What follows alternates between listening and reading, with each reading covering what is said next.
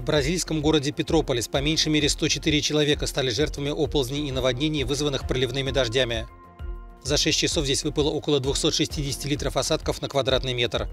Разрушено более 50 домов, несколько десятков человек числятся пропавшими без вести.